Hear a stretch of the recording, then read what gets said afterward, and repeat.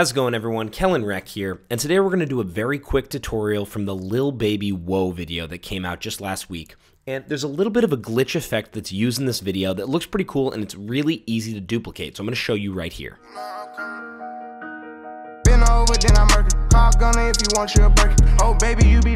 So the effect is really, really easy to replicate, and all it is is just a couple frames that are being adjusted and going with the glitch sound that comes with a lot of these trap beats. So for this example, I took two shots from the Lil Baby video. We've got this shot here, which is just cars wrapping around Lil Baby as he dances. Then we have another shot of some kids dancing. And we want to create that transition effect right here between these two shots. And what I'm going to do is actually use a different song so that you can see how this might work for really any song that you're using. Ideally, it would be a song in the trap genre or something that has kind of that glitchy sound to it so that the cuts feel like they're part of it and it makes a lot of sense. So I've taken a part of this song here.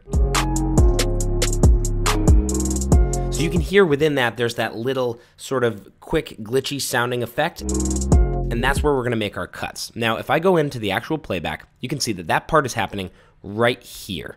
So if we listen, you hear that quick sound there. So that's where we're to make our cut. So the first thing that I want to do is hear where that sound first hits, and it's this part of the waveform here. So what I'm going to do is just make a mark, click on my audio file, hit M so I know where it starts.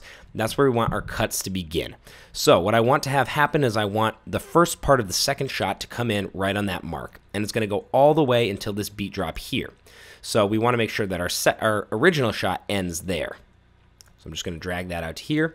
And the transition will take place in this entire chunk right here. Now, all you need to do to get that look from the Lil Baby video is just literally press C to create a cut marker. And you're going to cut every frame, one frame at a time. And then all you have to do is delete every other frame so that you're seeing each of these shots one frame at a time and it looks like it's glitching. So I'll just click here, delete every other, and then when the beat drops, it's going to end on the shot we want. So if we watch it back, here's what we have.